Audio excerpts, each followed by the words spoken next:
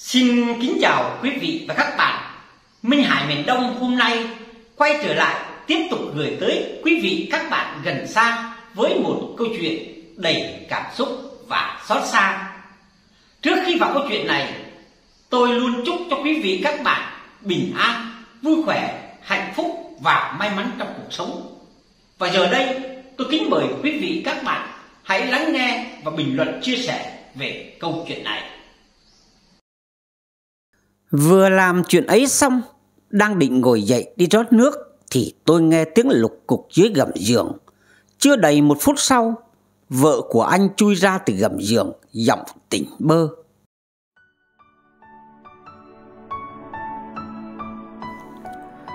Tôi vừa mới chân ướt chân ráo lên thành phố tìm việc sau một thời gian dài không xin được việc ở quê.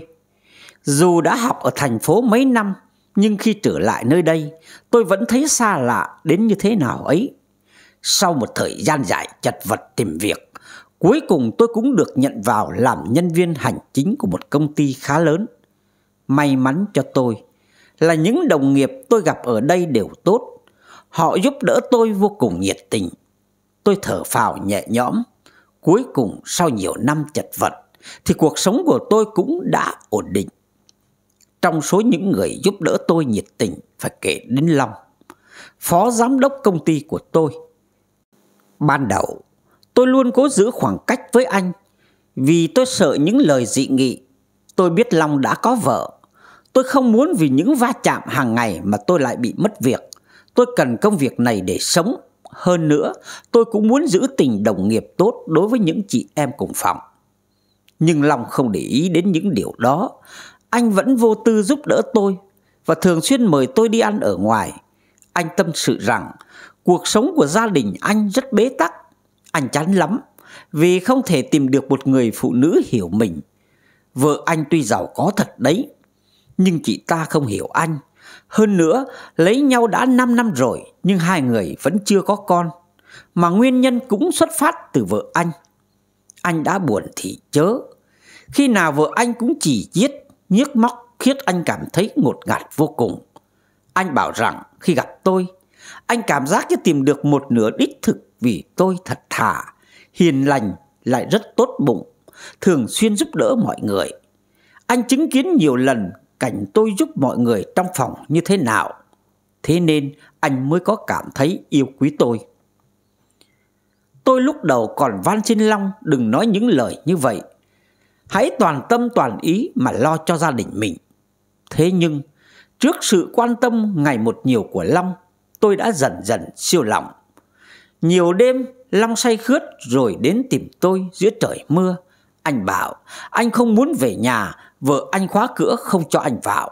Cô ta khinh anh là thằng nhà quê, dù hiện tại anh là phó giám đốc. Những lần đó tôi lại siêu lòng đón Long vào nhà. Thế rồi tôi yêu Long khi nào không hay. Phụ nữ một khi đã yêu thì thường biện hộ ra những lý do để bảo chữa cho tình yêu của mình. Dù họ biết rõ tình yêu đó là sai trái. Tôi cũng thế. Tôi nghĩ Long đang bất hạnh trước sau gì anh cũng ly dị, nên chúng tôi yêu nhau không có gì là quá đáng cả. Kể từ đó, tôi lao vào những ngày đi du lịch cùng Long. Hễ có thời gian, chúng tôi lại lao vào nhau như con thiêu thân. Long thuê cho tôi một căn hộ chung cư mới để tiện bề hẹn hò. Thấm thoát, chúng tôi vụng trộm cũng đã được nửa năm. Hôm đó, Long trở về căn hộ của tôi sau một tuần đi công tác. Anh lao vào tôi ngấu nghiến. Chúng tôi đã trải qua những giây phút đê mê trên giường. Vừa làm chuyện ấy xong, đang định ngồi dậy đi rót nước thì tôi nghe tiếng lục cục dưới gầm giường. Chưa đầy một phút sau, vợ anh chui ra từ gầm giường, giọng tỉnh bơ. Em thấy cô này ngực lép, hông nhỏ, chẳng có triển vọng gì hết anh ạ. Tôi choáng váng quá. Tôi không hiểu sao chị ta lại có chìa khóa vào căn hộ của tôi. Tôi đang đứng há hốc mồm thì anh chạy xuống ôm vợ rồi bảo. Ý em là em không thích cô này hả? Ừ, thôi để anh đi tìm cô khác. Gì chứ phải kiếm một đứa con khỏe mạnh chứ. Nói rồi, anh mặc lại quần áo rồi ôm lấy vợ. Tôi thấy rõ sự tức giận của chị ta, nhưng trước thái độ của anh, Chị ta không nói gì nữa. Cả hai vợ chồng dắt nhau ra khỏi căn hộ của tôi Mà không nói thêm câu nào. Ngày hôm sau Tôi bị đuổi việc Đuổi khỏi căn hộ. Tôi đau đớn vô cùng. Anh đã dám lừa dối tôi Lấy đi đời con gái của tôi Rồi lại khiến cuộc đời tôi điêu đứng. Tôi cố gọi cho anh Nhưng đầu dây bên kia chỉ còn thấy nghe Tiếng tút tút không ngừng. Và xin quý vị tiếp tục lắng nghe câu chuyện thứ hai. Tôi ném trả 100 triệu tiền thách cưới kèm lễ hỏi của nhà trai khi anh vừa nói câu đó. Tôi xuất thân từ một gia đình thuần nông nghèo khó. Nhà tôi đông chị em nên học hết cấp 2 tôi phải nghỉ học, theo mẹ đi làm thuê để nuôi các em ăn học.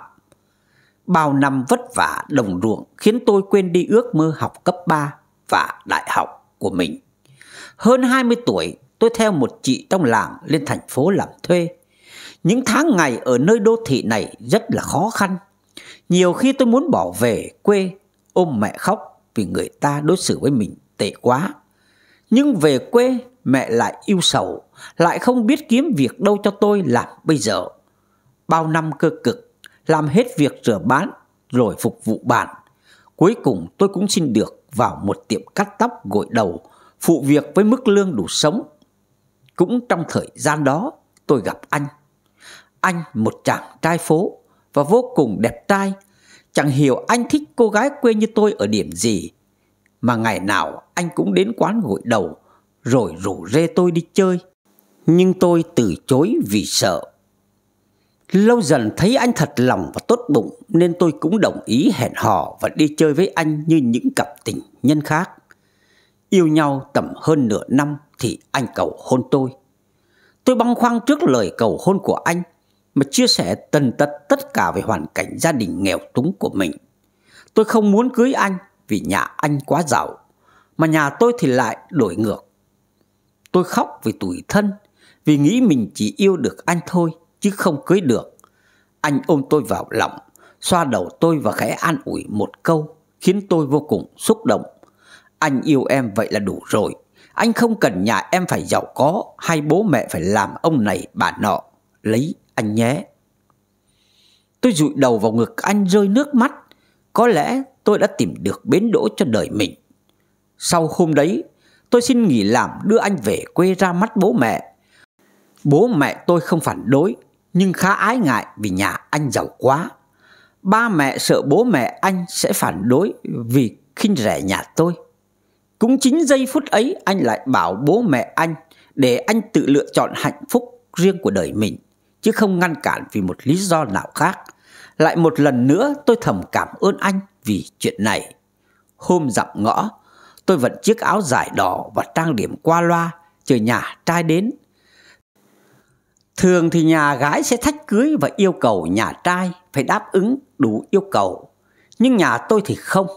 Bố mẹ tôi để nhà trai tùy tâm vì chúng tôi chỉ là gia đình nghèo khó ở quê. Vừa thấy đoàn xe nhà trai đến giám ngõ, tôi đã kéo mẹ và người thân ra cổng đón lễ. Nhà anh bưng hẳn chín tráp và mỗi tráp đi hẳn một chiếc ô tô sang trọng. Vào nhà đặt lễ, chồng tôi đặt lên bàn 100 triệu tiền thách cưới và nhìn tôi vẻ không vừa lòng với chiếc ghế lung lay sắp gãy mà anh và mọi người ngồi. Vừa ngại vừa xấu hổ vì nhà tôi nghèo quá, không mua được đồ đạc, xin để đón tiếp nhà trai. Thì bất ngờ chồng bĩu môi nói một câu mà tất cả nhà tôi đều cúi mặt vì xấu hổ với cậu con rể dọc có này. Nhà em ở nhà như một cái nhà xí nhà anh ấy. Cưới con gái mà bố mẹ em ăn mặc rách rưới như ăn mày thế kia à. Em cầm lấy 100 triệu tiền thách cưới kia đi, mua cho họ mấy bộ đồ đi đúng là mất mặt quá. Hôm cưới, em đừng để bố mẹ em xuất hiện nhé, xấu mặt gia đình anh lắm. Cứ để họ nghĩ bố mẹ em chết đi rồi để anh đỡ thẹn với bạn bè. Anh, anh cút ngay ra khỏi nhà tôi, nói cho anh biết, chúng ta hủy hôn. Tôi thả ế ở vậy cả đời, còn hơn là cưới một người coi trọng sĩ diện của bản thân mà khinh thường và dè biểu người sinh ra tôi như thế. Tôi cầm 100 triệu tiền thách cưới trên bàn ném vào người anh ta và hất hết lễ hỏi ra sân rồi quỳ xuống xin lỗi bố mẹ vì tôi đã để người đàn ông đó sỉ nhục và coi thường bố mẹ như vậy. Thấy tôi phản ứng dữ dội sau câu nói đó, anh đùng đùng nổi giận và chỉ tay vào mặt tôi nói một câu rồi kéo cả nhà trai đi thẳng. Cóc ghẻ như cô lại ra vẻ chảnh chọe à. Rồi cô phải đến quỳ xin tôi tha thứ vì chuyện ngày hôm nay. Cả nhà trai hậm hực kéo nhau ra về. Tôi ngồi thụp xuống nền nhà mà khóc và ân hận vì đã quyết định cưới người đàn ông đó. Thấy tôi khóc nấc lên, bố mẹ và các em liền đến và ôm tôi cùng khóc và an ủi. Được sống trong tình yêu thương của gia đình, được thấy gia đình tôi vui thì sao tôi phải đánh đổi danh dự của cả nhà để lấy kẻ lắm tiền như thiếu đức như anh vậy. Có lẽ hành động hôm nay của tôi là sốc nỗi, thiếu suy nghĩ nhưng tôi không bao giờ hối hận vì chuyện này. Bởi lẽ với tôi chồng có thể bỏ và cưới người khác nhưng ba mẹ thì không bao giờ.